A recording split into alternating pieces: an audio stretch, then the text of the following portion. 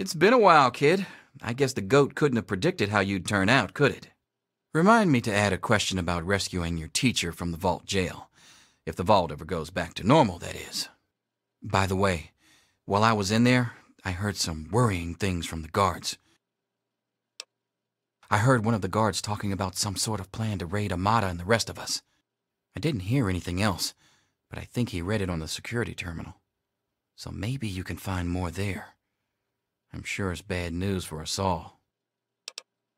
Most of them are just kids who are caught up in the idea of seeing the world, but I know we've got to actually open the vault if we want to survive. Otherwise, we're just going to dwindle away down here until it's all too late.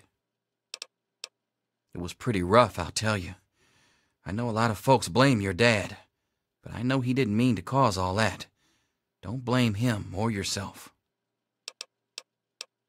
Watch yourself down here.